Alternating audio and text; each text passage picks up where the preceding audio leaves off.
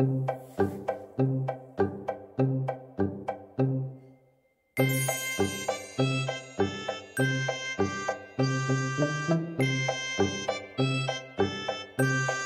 instrument does a pair of sheep play?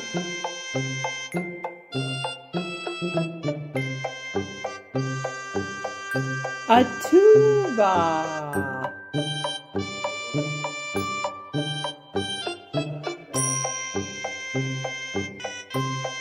What is a sheep's favorite snack?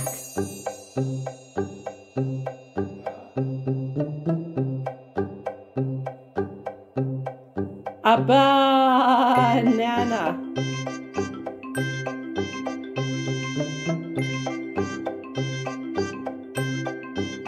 What's a sheep's favorite type of dance?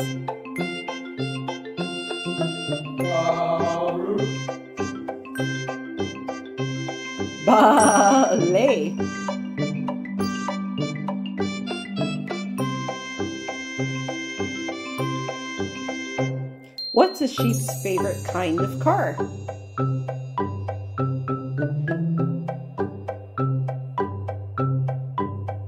A Lamborghini.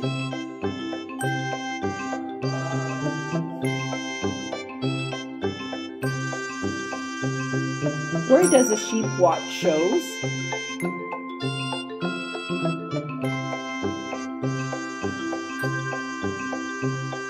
On YouTube.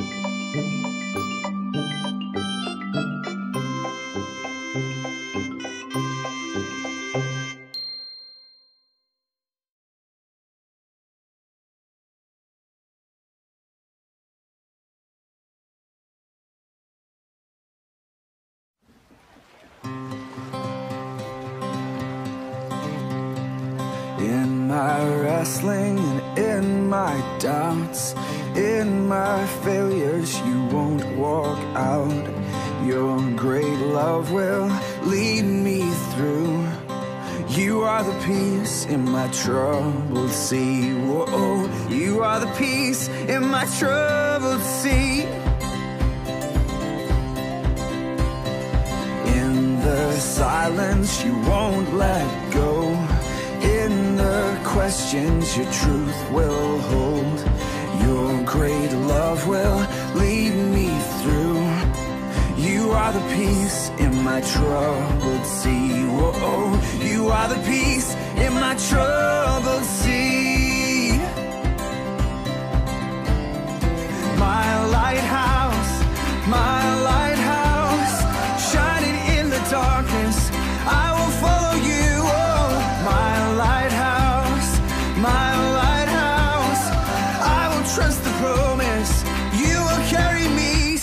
to shore.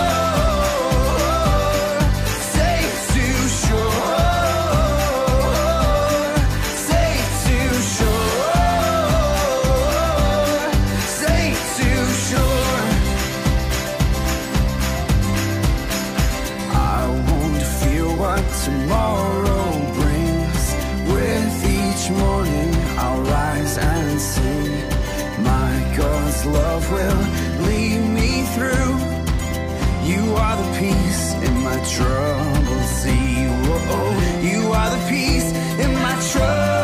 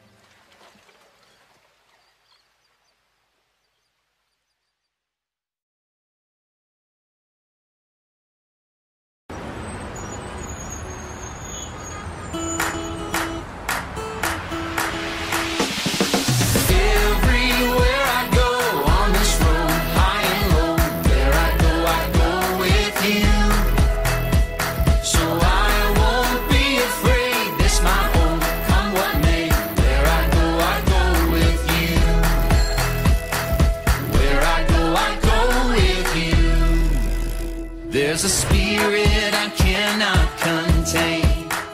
There's a spirit I cannot contain. The same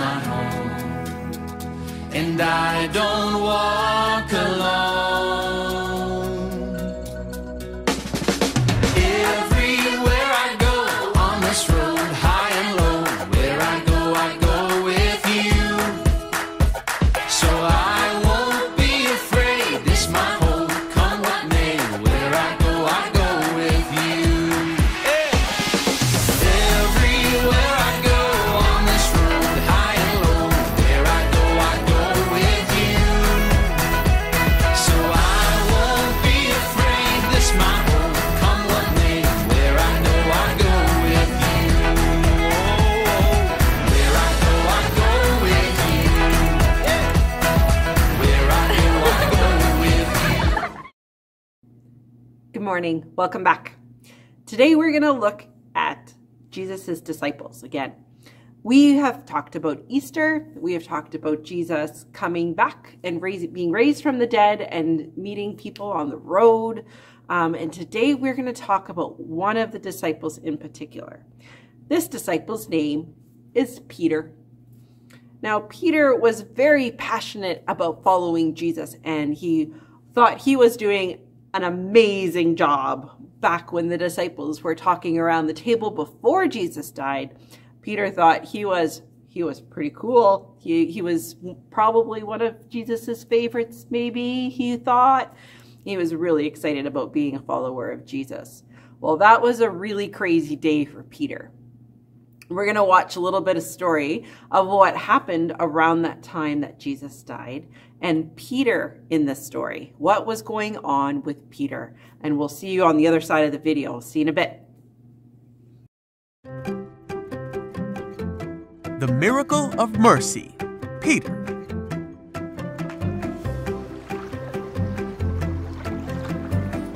This is Peter.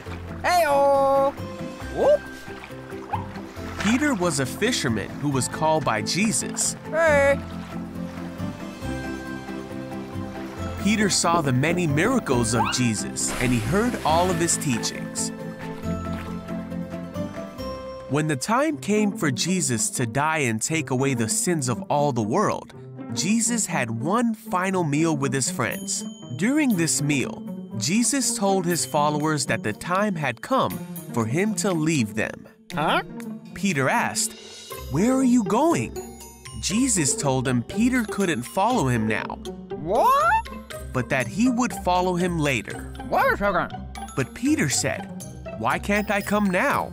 I'm ready to die for you. Jesus said, Die for me.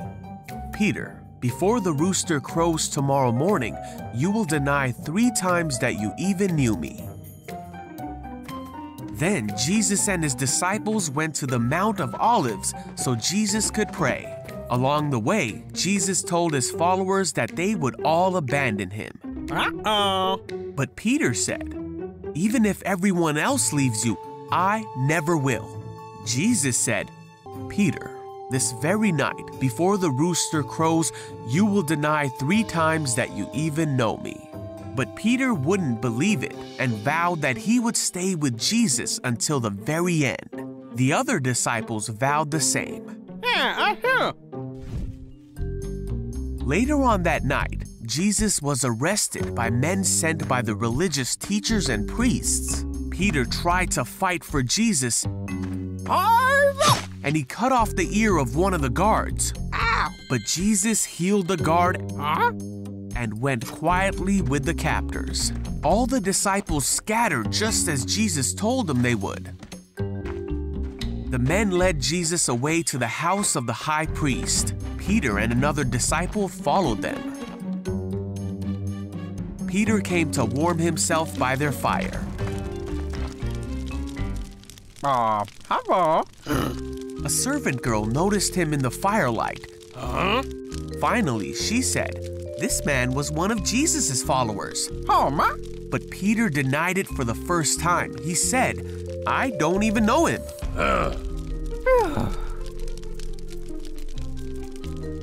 After a while, someone else looked at him and said, You must be one of them. Whoa. Peter, for a second time, said, No, I'm not. Ah, okay. About an hour later, a man who knew the man whose ear Peter cut off said, Didn't I see you in the olive grove with Jesus? This must be one of them. He comes from the same place as all of them. Yeah, you're right. But Peter said, No, no, no. I don't know what you're talking about. And then Peter heard the crow of the rooster. Jesus turned and looked at Peter.